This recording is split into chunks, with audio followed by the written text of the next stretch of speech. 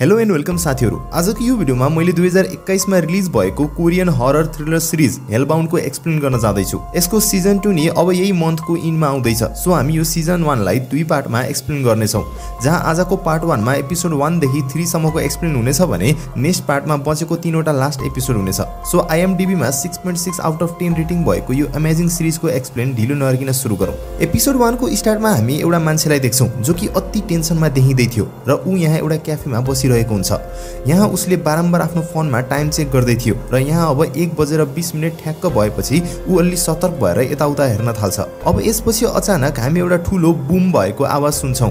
त्यसपछि त्यहाँ अचानक हामी तिनवटा मोन्स्टरलाई क्याफेभित्र यो मान्छेतिर आइरहेको देख्छौँ। यी ठुला ब्ल्याक स्मोकले बनेको जस्तो देखिने मोन्स्टरले अब त्यो मान्छे क्याफेबाट भाग्न थालेपछि उसको पिछा गर्न थाल्छन्। तर केही समयमा यिनीहरूले त्यो मान्छेलाई समाउँछन् र रोडको बिचमै त्यो मान्छेलाई अति कुर्छन् र पछि त्यही तिनवटा मोन्स्टर नै मिलेर उसलाई त्यहीँ जलाएर मारिदिन्छन्। जसपछि यी मोन्स्टरहरू दगुर्दै गर्दा हावामा नै कतै गायब हुन्छन्।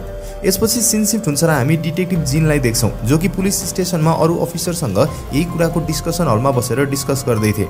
किनकि यो इन्सिडेन्ट दिउँसो नै भएको थियो सो कयौँ मान्छेले यो घटनालाई रेकर्ड पनि गरेको थिए। सो पुलिससँग यो साँच्चै नै त्यसरी भएको थियो भनेर थाहा पाउनको लागि धेरै नै भिडियो इभिडेन्सहरू पनि थियो। अब यहाँ हामी एउटा न्यू ट्रुथ नाम गरेको ग्रुपको बारेमा थाहा पाउँछौँ जसको चेयरम्यान जङ जिन्सु नाम गरेको मान्छे थियो र यो ग्रुप दुई हजार बाह्र सालबाट नै अस्तित्वमा आएको थियो र अति धेरै नै एक्टिभ थियो। चेयरम्यान जङले केही समय अगाडिबाट नै यस्तो केही हुनेवाला छ भनेर भन्नुभएको हुन्छ र यसको सम्बन्धी भिडियो इभिडेन्स पनि देखाउनु भएको हुन्छ। तर पहिला कसैले उहाँको कुरालाई सिरियस नै लिगेनन्। चेयरम्यानले भगवान्ले यो सारा संसारबाट पापीहरूलाई मात्र लैजाँदै हुनुहुन्छ। सो तपाईँ यसबाट बस्नु छ भने एउटा सही जीवन बिताउन सक्नुपर्छ भन्नुहुन्छ। अब आजको यो इन्सिडेन्ट पछि सबैले चेयरम्यान जङको विश्वास गर्न थाल्छन् र उहाँको ग्रुपलाई फलो गर्न थाल्छन् जसले गर्दा उहाँको पपुलारिटी एकदमै बढ्दै जान थाल्छ। यसपछि हामी अर्को ग्रुपको बारेमा नै थाहा पाउँछौँ जसको नाम एरोहेड्स हुन्छ। हामी थाहा पाउँछौँ कि एरोहेड्सले नै न्यू त्रुथ ग्रुपलाई नै फलो गर्ने गर्थे तर उनीहरू निकै भयोलेन्ट थिए।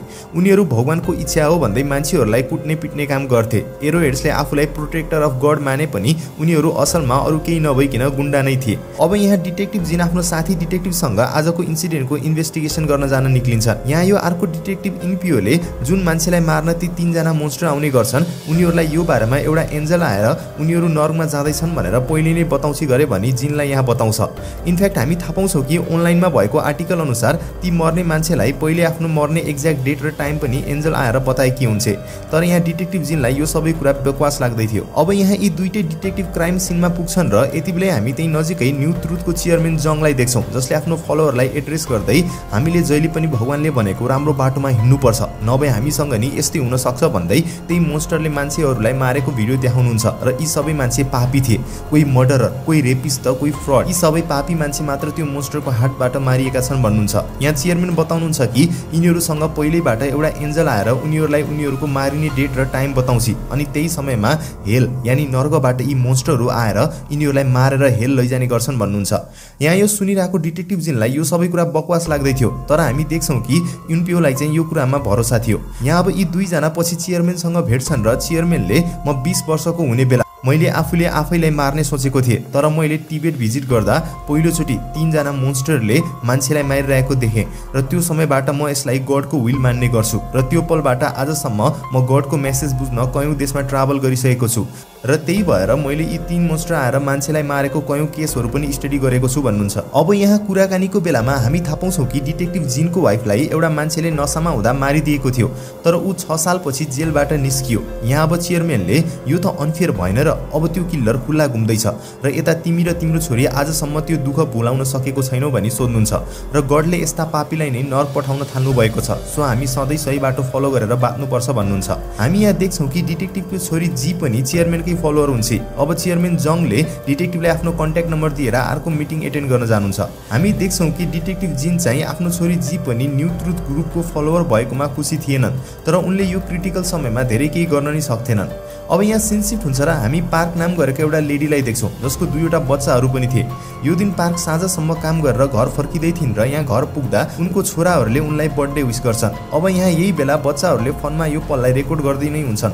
तर यही बेला उनीहरू अगाडि एन्जल एपियर हुन्छ जसले यिनीहरूलाई भविष्यवाणी गर्दै आजबाट पाँच दिनपछि ठिक दिउँसोको तिन बजे पार्कको मृत्यु हुनेछ र तिमी नर्गमा जानेछौ भनेर एन्जलले यहाँ एनाउन्स गरेर गायब हुन्छन्। यतातिर हामी एउटा लाइभ स्ट्रिम भइरहेको देख्छौँ जहाँ यो लाइभ स्ट्रिम गर्ने मान्छे एरो एरो हेडको डाई हार्ड सपोर्टर हुन्छ र यहाँ ऊ गडको तारिफ गर्दै हुन्छ। यो मान्छेले लाइभ स्ट्रिममा बकवास भाषण गरिरहेको हुन्छ र सायद यस्तो भाषण देखेर लाइभ स्ट्रिममा जो जो मान्छेले यो गडको विस होइन स्ट्रेन्ज फेनोमेना बकवास हो भनिरहेका थिए सायद एरो हेडका मान्छेले तिनीहरूलाई नै कुट्दै थिए होला। हामीलाई थाहा हुन्छ कि एरो हेड्सका धेरै मेम्बर्सहरू युजली माइनर्सहरू थिए। सो क्राइम गरे पनि पुलिसले उनीहरूलाई एरेस्ट गर्न पाउँथेनन् या उनीहरू इजिली छुटिहाल्थे। अब यहाँ सिनसिफ्ट हुन्छ र हामी फेरि पार्कलाई देख्छौँ जो चाहिँ एउटा एडभोकेट एजेन्सीमा एडभोकेट मिनसँग भेट्न आएकी हुन्छन् असलमा त्यो घटना हुँदा पार्कको छोराले त्यो भिडियो रेकर्ड गरेको थियो र यो सबै भएपछि पार्क चेयरम्यान जनसँग भेट्न गएकी थिए जहाँ गएर पार्कले चेयरम्यानलाई त्यो भिडियो देखाएकी थिए यहाँ अब चेयरम्यान जङले तिम्रो मृत्यु त रोक्न सकिन्न तर यदि तिम्रो मृत्युलाई सारा दुनियाँमा लाइभ स्ट्रिम गर्ने पर्मिसन दिन्छौ भने म त्यसको बदलामा तिमीलाई थ्री बिलियन वान दिन तयार छु भन्नुहुन्छ। यो भविष्यवाणी सही हो भने त्यो दिन मोस्टर आएर जसरी नै तिमीलाई मार्छन् सो यसको बदलामा सबै दुनियाँले त्यो लाइभ हेर्न पाउनेछन् र बदलामा तिम्रो बच्चाहरूको लागि तिमीले राम्रो पैसा छोडेर जान सक्नेछौ। तर त्यो भविष्यवाणी गलत निक्लियो र मोस्टर अन्तिममा आउँदैनन् भने पनि म तिमीलाई यो पैसा दिन तयार छु भन्नुहुन्छ।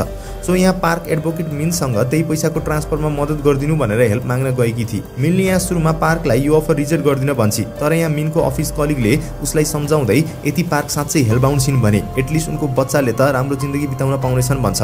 मिन यहाँ फाइनली एग्री गर्छ र उसले चेयरम्यान जनसँग एउटा मिटिङ एरेन्ज गराउँछ। त्यो पनि पार्कै घरमा जहाँ डिटेक्टिभ जिन र युनपिओ पनि आएका हुन्छ। यो मिटिङमा त्यो लाइभ स्ट्रिमलाई लिएर केही टर्म्स एन्ड कन्डिसन अगाडि राखिन्छ जस्तै कि पार्क र उनको फ्यामिलीको आइडेन्टिटी पब्लिकमा सेयर नगर्ने किनकि यस्तो गर्दा पार्कको बच्चाहरूलाई सोसाइटीले पापी ठानेर नराम्रो व्यवहार गर्न सक्थे। अब लाइभ स्ट्रिम नजिकैको घरमा गर्ने डिसाइड गरिन्छ र त्यहीँबाट लाइभ पब्लिकले त्यो देख्नेछन्। सो अब डिल साइन हुन्छ र पार्कले यहाँ आफ्नो पैसा पाउँछ। यहाँ हामी एउटा अलि अचम्मको कुरा के देख्छौँ भने चेयरम्यान जङले बारम्बार पार्कलाई कि तिमीले कुनै पाप गरेकी थियौ र जसले गर्दा तिमीसँग यस्तो हुन जाँदैछ भने सोध्नुहुन्छ। तर यहाँ पार्कले केही पनि बताउँदिने र ऊ केही बोल्दिने। अब यो मिटिङपछि चेयरम्यान जङले पनि आइडेन्टिटी रिभिल नगरिकन यो इभेन्टलाई इनाउन्स गर्नुहुन्छ र यसले गर्दा यो कुराको हाइप बिल्ड हुन थाल्छ। यो कुरा लाइभ स्ट्रिमवाला मान्छेले नै एनाउन्स गरेर सबैलाई बताउँदै हुन्छ। यो भविष्यवाणीलाई यहाँ यो सिरिजमा डिग्री पनि भनिएको छ। हुन त अहिलेसम्म यो डिग्री कसले पाएको रिभिल नगरे पनि हामी यहाँ डिटेक्टिभ युनपिओलाई देख्छौँ जसले अर्को आइडीबाट लगइन गरी त्यही लाइभ स्ट्रिमवाला मान्छेको च्याटमा गएर पार्क र उनको बच्चाको आइडेन्टिटी रिभिल गरिदिन्छ। यस हामी थाहा पाउँछौँ कि डिटेक्टिभ युनपिओ आफै नै एरोहेडको पनि सपोर्टर थियो सो त्यही भएर आफूसँग भएको इन्फर्मेसन उसले पब्लिकलाई लिक गरिदिन्छ।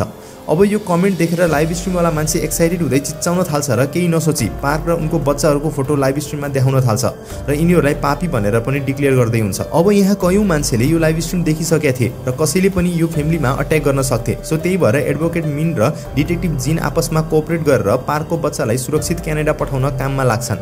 मिनले अब अरूबाट बचाएर यो बच्चाहरूलाई फ्लाइटमा पठाइदिन्छ जसबाट यिनीहरू कोरियाबाट क्यानाडाको लागि निक्लिन्छन्। तर हामी यहाँ देख्छौँ कि यी बच्चाहरू एयरपोर्टमा आउँदा कयौँ मान्छेले यिनीहरूलाई पहिल्यैबाट घुरेर हेरिरहेका थिए। यानि सायद यिनीहरू पनि एरोहेडका मान्छे हुन सक्छन् र हामी बुझ्छौँ कि एरोहेडलाई धेरै मान्छेले सपोर्ट गर्ने गर्छन्। अब यता डिटेक्टिभ जिन पार्कलाई सुरक्षित राख्न उसँग भेट्छन् र फाइनली सिचुएसन कन्ट्रोलमा आउँछ। यतातिर हामी चेयरम्यान जङलाई देख्छौँ जो चाहिँ डिटेक्टिभको छोरीसँग हुनुहुन्थ्यो। यहाँ अब डिटेक्टिभको छोरीले बताउँछ कि उसले आफूलाई नै आफ्नो ममको डेथको लागि रेस्पोन्सिबल मान्ने गर्छ। असलमा ऊ सानो हुँदा उसको ममले आफ्नो ड्याडलाई यो देऊ भनेर एउटा ड्रेस दिनुभएको थियो तर बाटोमा एउटा क्युट पप्पीलाई देखेर त्यससँगै खेल्ने चक्करमा उनले ड्रेस डेलिभर गर्न भुल्छिन्। सो उनले ड्रेस डेलिभर नगरेको भएर उनको मम्मी आफै त्यो छोड्न जानुहुन्छ र त्यही बेला एउटा नसामा भएको मान्छेले उनको मम्मीलाई मारिदिएको हुन्छ। अब यो सबै स्टोरी सुनेर चेयरम्यानले डिटेक्टिभको छोरी जीलाई यो तिम्रो गल्ती होइन बरु त्यो किल्लरको गल्ती हो र यसको सजाय उसले पाउनेछ भन्दै सम्झाउनुहुन्छ। अब चेयरम्यानले जीलाई कारमा लैजानुहुन्छ र उहाँले त्यो किल्लरलाई नै पत्ता लाउनुहुन्छ जो कि अहिले पनि रक्सीको नसामा तल्लिन हुन्छ अब यहाँ यिनीहरूको गाडीकै अगाडि त्यो किल्लर हुन्छ र यहाँ चेयरम्यानले जीलाई त्यो किल्लरलाई अट्याक गर भन्दै उक्साउनुहुन्छ। जीले यहाँ उसलाई अट्याक गरेर बियोस गरिदिन्छ र अब यिनीहरूले यो मान्छेलाई एउटा सेफ हाउसमा लिएर आउँछन्। जुन ठाउँमा आएर चेयरम्यानले क्लोरोफर्म सुगाएर त्यो मान्छेलाई फेरि बियोस गरिदिनुहुन्छ। र अब यिनीहरूले उसलाई क्रिमेसन फर्नेन्समा जिउँदै जलाएर मारिदिन्छन्। यो नजारा हेर्दै डिटेक्टिभको छोरी जी रुनको साथसाथै खुसी पनि थिए किनकि फाइनली आज उसको ममको किल्लर मारियो। अब अर्को दिन पुलिसले यो लास भेटाउँछन् र यहाँ यता डिटेक्टिभ जिनले पनि आफ्नो वाइफको किल्लर मारिएको खबर पाउनुहुन्छ। अनि आजको दिन नै पार्कको डेथको लाइभ स्ट्रिम पनि हुनेवाला थियो र पुलिसहरू यो कामको तयारीमा निकै बिजी हुन्छन्। तर यही बेला एरोहेडका मेम्बरले पुलिसले गडको विलमा इन्टरफियर गर्दैछन् भन्दै पुलिस स्टेसनमा अट्याक गरिदिन्छन्। पुलिसले अन्तिममा यो अट्याकलाई ह्यान्डल गरे पनि यसमा कयौँ पुलिसका मान्छेहरू चोटिल हुन्छन् जसमा डिटेक्टिभ जिनलाई पनि चोट लागेको हामी देख्छौँ। अब यो घटनापछि यता हामी पार्कको डेमोन्स्ट्रेसनको लागि सेटअप रेडी भएको देख्छौँ र यहाँ बाहिर कयौँ न्युज च्यानल र मिडिया पर्सन पनि हामी देख्छौँ। यसको साथसाथै यो ठाउँमा हजारौँ मान्छे यही कुरालाई लाइभ हेर्नको लागि पनि जम्मा भएका थिए। यहाँ अब हामी केही भिआइपी मान्छेहरूलाई पनि देख्छौँ जो चाहिँ आफ्नो आइडेन्टिटी लुकाउन मास्क लगाएर अगाडि बसेका हुन्छन् र उनीहरूले यहाँ न्युज तुरुत ग्रुपलाई एकदमै ठुलो रकम दिएर यो घटना हेर्न फ्रन्टको सिट बुक गरेका हुन्छन्। डिटेक्टिभ जिन र उसको टिम पनि भिडलाई सम्हाल्न यहाँ रेडी भइरहेका थिए र यति मात्र होइन कि पोसिबल छ भने यिनीहरू यी तिनवटा मोन्स्टरलाई पनि समाउन चाहन्थे। एडभोकेट मिन पनि आफ्नो कलिगसँग यहीँ हुन्छन् र पार्कलाई सान्त्वना दिँदै हुन्छन्। अब यहाँ काउन्टडाउन सुरु हुन्छ र तिन बन्ने बित्तिकै सबैजना ध्यान लगाएर यो डेमोन्स्ट्रेसनलाई हेर्न थाल्छन्। तर केही सेकेन्डसम्म यहाँ केही पनि हुँदैन। तर केही समयपछि हामी अचानक एउटा लाउड बुम आवाज सुन्छौँ जसपछि यहाँ त्यही तिनवटा मोन्स्टर एपियर हुन्छन् र त्यहाँ पार्कलाई निर्दय तरिकाले कुट्न थाल्छन्। यो सिनलाई देखेर सबैजना सक हुन्छन् जहाँ यो घटना सबैतिर लाइभ प्रसारण भइरहेको हुन्छ। डिटेक्टिभ जिनले यो मोन्स्टरमाथि गोली पनि चलाउँछन् तर एउटा मोन्स्टरको धक्काबाट उनी त्यही बियोस हुन्छन्। अब यी मोन्स्टरले सधैँ जसरी नै पार्कलाई जलाएर त्यहाँबाट गायब हुन्छन्। अब यो सबै सारा दुनियाँका मान्छेले देखिसकेका थिए र झन् त्यहाँ सिनमै भएका मान्छेले त त्यही घोडा टेकेर गड विललाई रेस्पेक्ट देखाउँछन्। यहाँ अब केवल एडभोकेट मिन र उनका कलिगले मात्र घोडा टेक्या हुँदैनन् जुन कुरा लाइभमा सबै दुनियाँले देखिरहेको हुन्छ अब अर्को दिन बिहान डिटेक्टिभ जिनलाई होस आउँछ र उनले आफूलाई हस्पिटल बेडमा पाउँछन्। हस्पिटलबाट बाहिर निक्लिँदा उनले सारा सौल सिटीलाई नै सुनसान पाउँछन्। असलमा मान्छेहरू हिजो भएको घटनाबाट डराएर घरमा लुकेर बसेका थिए र सबैको काम यहाँ ठप्प भएको हुन्छ।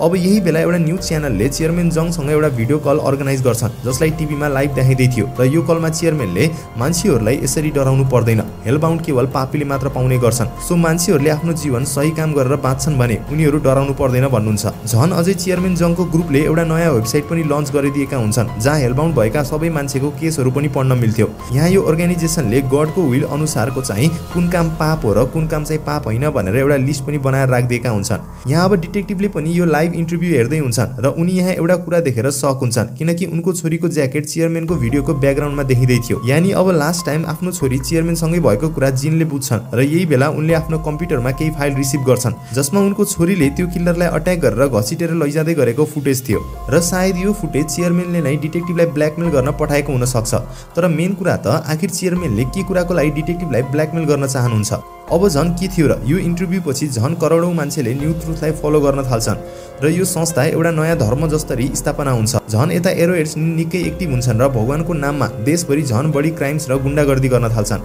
यहाँ हामी देख्छौँ कि न्यु ट्रुथले मिडियाको अगाडि एरोएडसँग आफ्नो केही सम्बन्ध छैन भन्ने गर्थ्यो। तर असलमा एरोएडले न्यु ट्रुथबाट नै भित्रभित्र सपोर्ट पाएर यी सबै काम गर्ने गर्थे। अब यता त्यो लाइभ स्ट्रिम गर्ने एरोएडको फलोवर झन् जोसमा आउँछ र उसले डिटेक्टिभ जिन एडभोकेट मिन र उसको कलिगको विरुद्धमा मान्छेलाई भट्काउन स्टार्ट गरिसकेको थियो र उसले डिटेक्टिभ जिनले मोस्टरलाई सुट गर्न खोजे र एडभोकेट मिन र उनको कलिगले घोडा टेकेनन् भन्दै मान्छेहरूलाई उक्साउँदै हुन्छ। उसले यिनीहरूले गडको विलको अगेन्स्टमा जाँदैछन् सो यिनीहरूले सजाय पाउनुपर्छ भन्दै हुन्छ। अब यो सबै देखेर जनता यिनीहरूको विरोधमा भएका थिए सो त्यही भएर एडभोकेट मिनले आफ्नो मम्मीसँग यो देश छोडेर जाने डिसाइड गर्छिन्। पछि यहाँ प्याकिङ गर्दै गर्दा मिलले एउटा कुरियर प्याकेज भेट्छिन् जुन उनको नाममा आएको थियो। यो कुरियरलाई चेक गर्दा मिलले यहाँ केही डकुमेन्ट पाउँछिन् जहाँ चेयरम्यान जङको पुरानो इन्टरभ्यूको इन्फर्मेसनहरू थियो। यो इन्टरभ्यूमा चेयरम्यान जङ त्यो पलको कुरा गर्दै हुनुहुन्थ्यो जब उहाँको अगाडि पनि एन्जल आएकी थिइन्। अब यो देखेर मिन अचम्म पर्छिन् र यो डकुमेन्ट कोही पास्टर किम नाम गरेको मान्छेले पब्लिस गरेको थियो भन्ने थाहा पाउँछिन्। सो अब मिन यहाँ आफ्नो बिरामी आमालाई लिएर सिधै पुलिस स्टेसनमा जिनलाई भेट्न जान लाउँछिन् तर पुलिस स्टेसनमा कोही पनि हुँदैन। यति बेला मिनलाई उनको कलिगको कल आउँछ जो नराम्ररी चोटिल भएको हामी देख्छौँ किनकि त्यो बेला गडको अगाडि घोडा नटेकेको भएर एरोहेडका मेम्बर्सले उसलाई अति कुट्या हुन्छन् एरोहेडका मान्छेले अब मिनको खोजी गर्दै थिए र यहाँ अब यिनीहरू पुलिस स्टेसनमा पनि आइपुग्छन्। यहाँ अब यिनीहरूले मिन र उनको आमालाई निकै कुट्छन् जसले गर्दा यी दुईजना सिरियसली इन्जोर्ड हुन्छन्। मिनले यहाँ बल्ल तल्ल केही गरी आफ्नो आमालाई हस्पिटल लैजान्छन् तर यहाँ सबैले उनलाई चिनेर अर्कै नजरले हेर्दै थिए र यही कारणले गर्दा त्यो ठाउँमा उनको आमाको राम्ररी उपचार हुन पाउँदैन र उहाँको मृत्यु हुन्छ। अब यो घटनाले मिन भित्रबाट टुट्छिन् र उनीसँग अब गुमाउन केही पनि थिएन। सो उनले पास्टर किमसँग भेटेर साँचो कुरा पत्ता लगाउने डिसाइड गर्छिन्। यता अब हामी डिटेक्टिभ जिनलाई देख्छौँ जो कि निकै रिसमा हुन्छन् किनकि चेयरम्यान जङले उनलाई ब्ल्याकमेल गर्दै थिए। सो डिटेक्टिभ चेयरम्यानको लोकेसनमा जाँदै हुन्छन् तर त्यो ठाउँमा पहिल्यैबाट भिड थियो र उनीहरूले डिटेक्टिभलाई हमला गरिदिन्छन्। यो हमलाले गर्दा सायद डिटेक्टिभ मारिन्थ्यो होला तर यति बेलै उनको फोनमा चेयरम्यानको कल आउँछ जसले मान्छेलाई डिटेक्टिभलाई मार्नबाट रोक्नुहुन्छ। यहाँ अब चेयरम्यानले डिटेक्टिभसँग एक्लै कुरा गरेर एउटा ठाउँमा बोलाउनुहुन्छ। डिटेक्टिभ हतार गर्दै त्यहाँ पुग्छन् जहाँ पहिलेबाट चेयरम्यान जङ हुनुहुन्थ्यो। यहाँ अब चेयरम्यान जङले म आफैले बिस वर्ष अगाडि एन्जेलबाट डिग्री यानि भविष्यवाणी पाएको थिएँ र आज नै मेरो मृत्युको डेट हो भनी बताउनुहुन्छ। यस यहाँ चेयरम्यानको अनुसार उहाँले आफ्नो जीवनभरि कुनै पाप गर्नुभएको थिएन तर पनि उहाँले डिग्री पाउनुभयो। यानि यसको मतलब यो पाप या पुण्य गरेर भइरहेको छैन। यो टोटली ऱ्यान्डम हो। जब उहाँले यो डिग्री पाउनुभयो उहाँले यसबारे निकै रिसर्च गर्न थाल्नुभयो र यी बिस वर्ष उहाँ अति डरमा बाँचिरहनु भएको थियो। चेयरम्यानले कयौँ केसेसहरूलाई स्टडी गर्नुभएको छ। सो यदि उहाँले मान्छेले यो पाप गरेर हुने गर्छ भन्नुभयो भने मान्छेहरू सुध्रिनेछन् र जुन डर मैले बिस वर्षबाट फिल गरिरहेको छु त्यो हरेक मान्छेले पनि फिल गर्नेछन्। अनि मैले तिम्रो छोरीको युज गरेँ किनकि म चाहन्छु कि तिमी मेरो सिक्रेटलाई सिक्रेट नै राख। तर तिमीले मेरो राज मान्छेलाई बतायो भने मेरो मान्छेहरूले तिम्रो छोरीको त्यो फुटेज लिक गरिदिन्छन् जहाँ उनले आफ्नो मम्मीको किलरलाई मार्दैछिन् भन्नुहुन्छ। सो यदि तिमी यो सिक्रेटको बारेमा चुप लाग्छौ भने तिमीले तिम्रो छोरीलाई सही हालतमा घरमा पाउनेछौ भन्नुहुन्छ। यहाँ अब यही बेला चेयरम्यान जङको टाइम पनि आउँछ र हामी त्यही लाउड बुम नोइजको आवाज सुन्छौँ। अब यहाँ ठ्याक्क त्यो ठुलो बुम नोइज पछि त्यही तिनवटा मोन्स्टर आएर चेयरम्यानलाई अति कुट्छन् र अन्तिममा जलाएर मारेर त्यहाँबाट जान्छन्। अब यो सबै देखेर डिटेक्टिभले आफ्नो छोरीलाई बचाउने डिसाइड गर्छन् सो चेयरम्यानको सिक्रेट लुकाउन राजी हुन्छन्। यतातिर मिन चाहिँ पास्टर किमलाई भेट्न जान्छ जहाँ हामी देख्छौँ कि पास्टरसँग त्यो पुरानो इन्टरभ्यूको टेप पनि थियो। जहाँ चेयरम्यानले एन्जललाई देखेको कुरा कन्फेस गर्नुभएको थियो। मिनले तुरुन्तै पास्टरसँग यो भिडियोको कपी माग्छी तर यति बेला कपी गर्नुको सट्टा पास्टरले त्यो टेपलाई पर्मानेन्टली डिलिट गरिदिन्छ। यहाँ हामी थाहा पाउँछौँ कि असलमा चेयरम्यान जङले केही दिन अघि नै पास्टरसँग हात मिलाइसकेका हुन्छ। जुन डिलमा पास्टरले त्यो टेप सधैँको लागि डिलिट गरिदिनु पर्ने थियो र यसको बदलामा पास्टर न्यू तुरुथको नयाँ चेयरम्यान बन्नेवाला थियो। किनकि अब पहिलाको चेयरम्यान त मरिसक्नु भयो सो अब किनकि जङ मरिसकेको छ सो पास्टर किम अब न्यू तुरुथको अफिसियल चेयरम्यान हुन्छ र ऊ आफै यसलाई दुनियाँको सबैभन्दा ठुलो धर्म बनाउन चाहन्थ्यो। अब पास्टरले यहाँ तुरुन्तै एरोहेडको मेम्बर्सलाई बोलाउँछ जसले मिनलाई निकै कुट्छन् र मिनको बडीलाई त्यहीँ फ्याँकिदिन्छन्। र यससँगै न्यू तुरुथले आफ्नो अपोजिटमा भएको सबैलाई सम्हालिसकेका थिए। अब सबै कुरा तयार थियो र सबैजनाले यो नयाँ धर्मलाई फलो गर्नेवाला छन्। तर हामीलाई त थाहा छ कि यो धर्म सबै झुटले नै निर्माण भएको छ। यहाँ अब डिटेक्टिभ जिन घर पुग्दा उनले आफ्नो छोरीलाई सही सलामत पनि भेट्छन्। अब सबैजना गड विल सोचेर पाप गर्नबाट डराएर बस्नेछन् जबकि डिग्री त ऱ्यान्डमली जसले नि पाउन सक्छ। सो अब यहाँ यो घटनासँगै न्यु ट्रुथ ग्रुपको दबदबा जताततै चल्न थाल्छ र यही यो एपिसोड पनि इन हुन्छ। सो आजको भिडियोमा हामीले तिनवटा एपिसोड हेऱ्यौँ भने नेक्स्ट भिडियोमा बचेको सिजन वानको तिनवटा एपिसोड ल्याउनेछु। सो आई होप आजको भिडियो तपाईँहरूलाई राम्रो लाग्यो होला। भिडियो मन परे यसलाई लाइक गरी भिडियोमा कमेन्ट र भिडियोलाई सेयर गर्न पक्कै नभुल्नु होला see you soon take care and bye